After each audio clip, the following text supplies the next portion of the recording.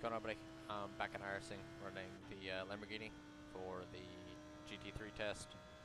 Um, so, starting off, this is what uh, me, Doug, and everybody ran, uh, or WTF ran, WTF Racing ran last season for the 24 hour.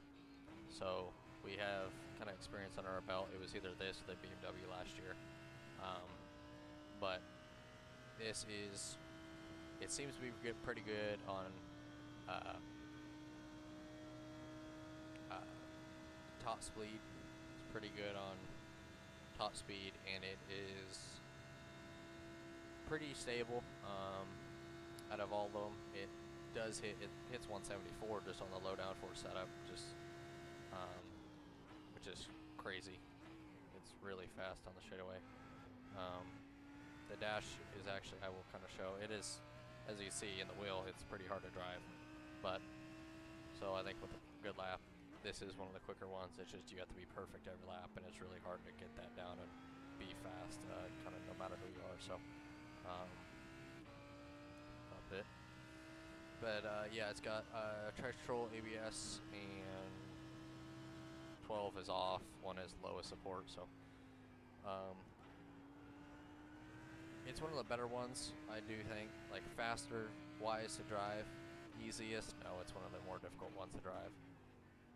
It's unfortunate, but I mean, it's it sounds good though. That V10 does sound really good, but uh, it's got pretty. It's the dash is actually really nice in it. It's easy to understand. I'll actually go and change uh, change it and show you guys the different ones, but. It seems pretty good on top speed wise. It does feel like it's good on top speed. Um, chicane.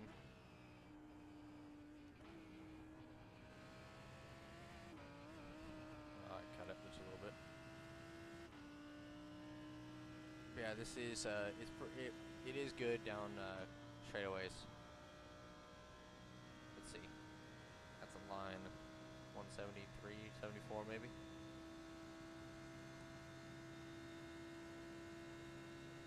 One, two, three, four, 44, six. And that was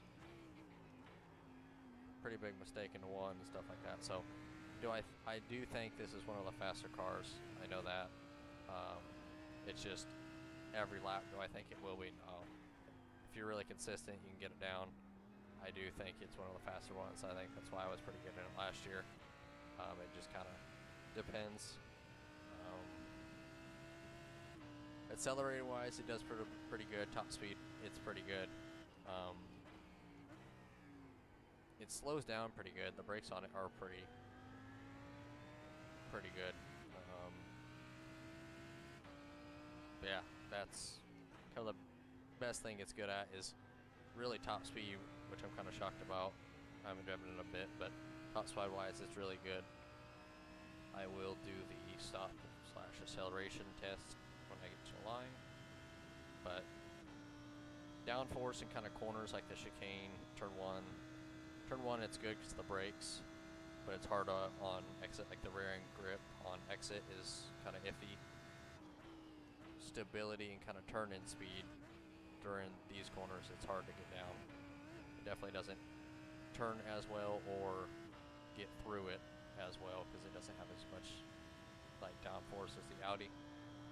It does drive pretty similar to it, but it just it's less. It doesn't turn as well. Um, straightaway speed. This is much faster. I do believe. Actually, I will just go straight. See what the top speed is. We hit 177, 178 down the backstretch in the Audi. So I will see. 176, 177.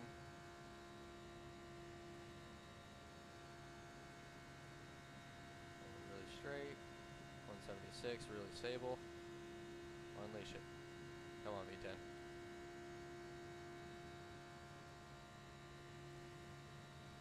One seventy eight. Hit one seventy nine? No. Which it might be the gearing that uh, kind of holds it back, but it does. It is fast.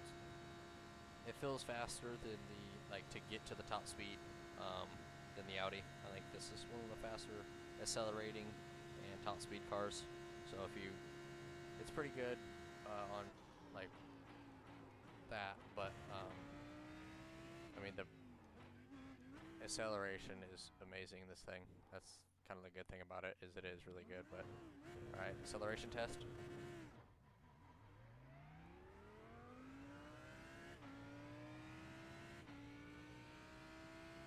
I think it gets a little it gets a little bit later to uh to the uh oh I think it's a little bit slower actually accelerating wise than the Audi. I I I know that thing is actually really really quick accelerating, but I think it was much faster than this. Even a this gain 132. So it's about the same as the Audi, which is good, but this thing it's harder to drive than the Audi, I think. Um, if you're you or some of your teammates are more prone to making mistakes and stuff, this is not the choice. It's it's pretty unpredictable, um, especially on cold tires. It's one struggle. One thing I forgot to say about the Audi is it struggles on cold tires, but once you do get temp and tires start to go, it's one of the better ones, just racing wise. But it's hard to kind of get that down. Um, this it's similar to that, like the uh, tires need time to kind of heat up, give it a few laps. Um, and that actually, I'll show you guys the. So you have day and night, which I ran night when we ran the 24 hour. Uh, Magnus Qual, which has the tire temps. Is that tire temps?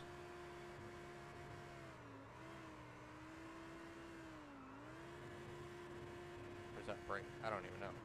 So there's Magnus Qual and qualifying, which that might be what I ran in the race. Yeah, that's why I ran in the race. I like the darker one. So um, there's that ABS braking and all that traction control. Um, it does seem to be really like this thing is one of the better ones. It's just hard, one of the harder ones to drive. So I ran a 44.49 in it uh, after two laps. The Audi I just ran one, and I ran a 44.2. So that's kind of one unfortunate thing. But like I said, it is hard to drive, jump into. But uh, that there's the uh, Lamborghini Huracan GT3. So if you guys enjoyed, leave like, subscribe. I will see y'all in the next one. Peace out.